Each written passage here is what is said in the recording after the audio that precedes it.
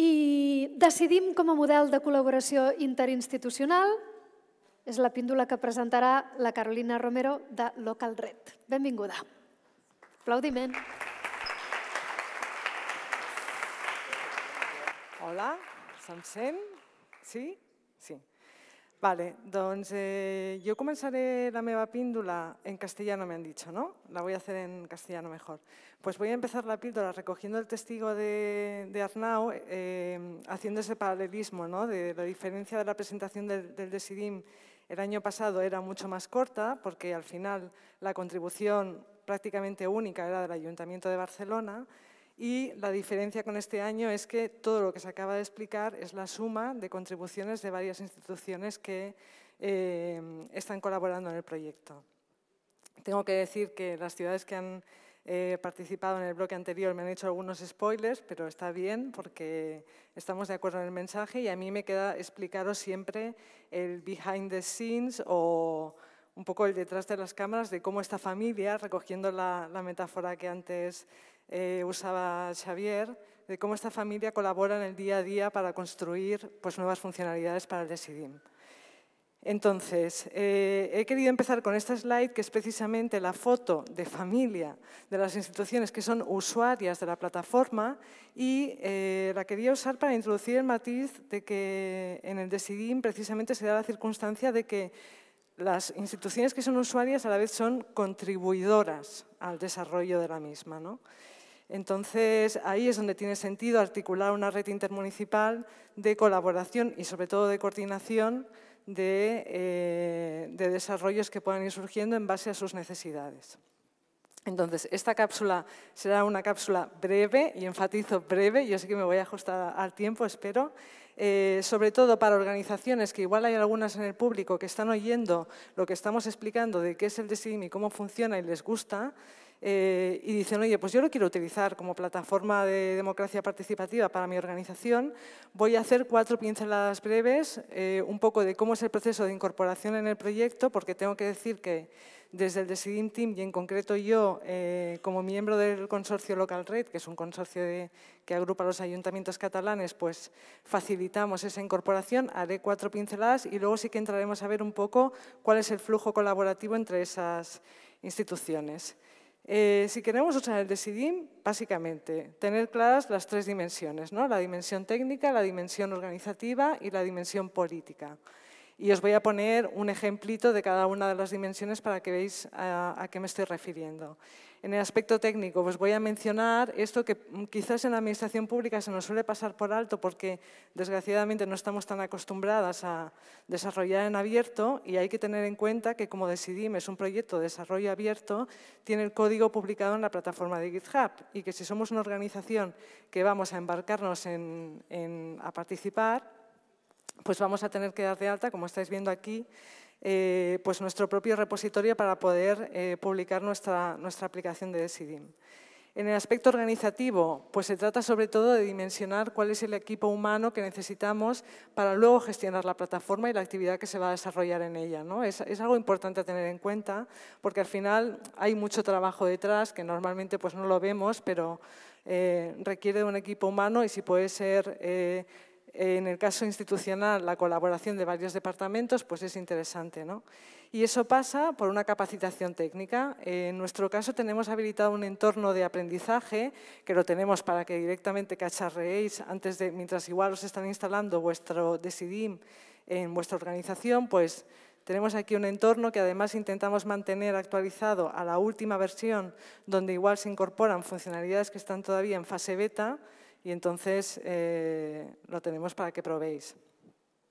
Y por último, el aspecto político al que ya ha hecho referencia antes Xavier, eh, pues reiterar esta idea, ¿no? que Decidim no es una web de participación, sino que es una infraestructura democrática que incorpora un contrato social, eh, que son unos términos y condiciones para garantizar la calidad democrática de los procesos que se desarrollan en, en la plataforma.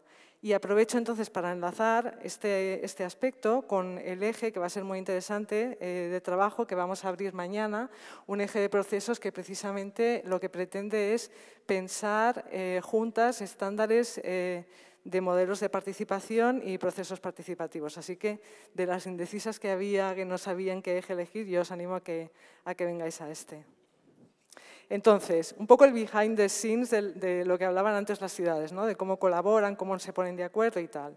Ahora ya tenemos el Decidim instalado, ya tenemos a nuestro equipo capacitado técnicamente, ya hemos aprendido cuáles son las mejores prácticas tecnopolíticas para desplegar los procesos y empezamos a detectar necesidades concretas, ya sea por la singularidad del territorio en el que estamos actuando, por la especificidad del proceso en cuestión y eh, pues, eh, necesitamos hacer mejoras en el DESIDIM porque además es un proyecto en, continua evolución. ¿no? Entonces aquí la coordinación es un, elemento clave, sobre todo cuando hablamos en el ámbito de las instituciones públicas. Eh, ¿Por qué? Pues porque ahora mismo estas instituciones son las que están respaldando con contratos el grueso del desarrollo que se produce en DESIDIM. Y además, si hablamos de dinero público, pues mm, con más razón eh, pues vale la pena ¿no? que seamos especialmente cuidadosos en, administrar esos recursos y sobre todo evitar pues, lo típico de pues, desarrollos duplicados. Al final yo pienso que tengo la mejora que es muy específica, pero siempre se puede buscar la abstracción para que se mejore el máximo número de, para que digamos abarque el máximo número de casos de uso. Entonces, para coordinarnos usamos tanto la capa física como la capa digital, que como no podía ser de otra manera es el propio de SIDIM, eh, donde tenemos habilitado un espacio eh, para canalizar todas las propuestas de mejora, que no solamente las instituciones, eh, cualquier persona puede mm, realizar aquí una propuesta de mejora o una nueva funcionalidad que se le ha ocurrido para el DESIDIM. Pero en el caso concreto de las instituciones, eh, sí que seguimos un flujo y es aquí donde entra el componente de colaboración. ¿vale? Esto ya es un poquito más eh, técnico, pero mm, sí que quería enseñároslo porque normalmente es una cosa que, no, que ni explicamos ni se suele ver. Entonces, eh, tenemos que saber que hay como dos entornos diferentes. Tenemos el de SIDIM, pero tenemos también GitHub, que es la plataforma del punto de encuentro de los programadores, donde se trabaja a un nivel mucho más técnico.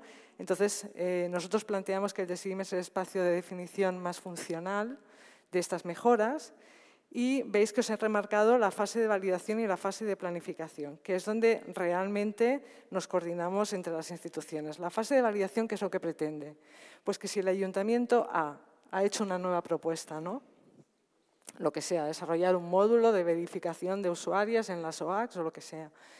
el resto de instituciones lo que tienen que hacer es validar que efectivamente ese caso de uso, esa mejora, aplica para todas. Una vez está validada, eh, si se dispone de recursos suficientes para el desarrollo, pasaría a formar parte directamente de la hoja del roadmap que le llamamos. Y a partir de ahí, eso puede pasar también que si tenemos una funcionalidad especialmente compleja, y ese caso ya se ha dado, varios ayuntamientos pueden repartir eh, los costes de desarrollo de esa funcionalidad, que es básicamente decir, pues yo pago estas líneas de código, tú pagas estas otras y yo acabo de pagar el resto. ¿no? Entonces el flujo ya, una vez entra en la hoja de ruta, sí que pasa a GitHub, donde se hace una descripción mucho más técnica de la mejora que se está encargando y a partir de ahí sigue su curso hasta que acaba eh, publicado en Decidim. Os pongo un par de ejemplos de, contribuciones que se han hecho siguiendo este flujo. Uno es el panel de administración, que antes ya os ha mencionado Arnau. Esta es una, contribución que se ha hecho entre seis ayuntamientos. Y el componente de encuestas también es un componente eh, hecho de manera colaborativa entre varias ciudades. Hay muchos más, eh, tenemos más de 50 contribuciones concretas que se han hecho entre siete u ocho instituciones. Eh, y ya para acabar, como al principio he empezado con la foto digamos, de las instituciones que están colaborando, pues eh, os dejo con la foto de las estadísticas de uso agregadas de todas estas organizaciones, esperando que pues, la familia vaya creciendo, que ya vemos que sí, y que se siga consolidando pues, este modelo de colaboración institucional. Gracias.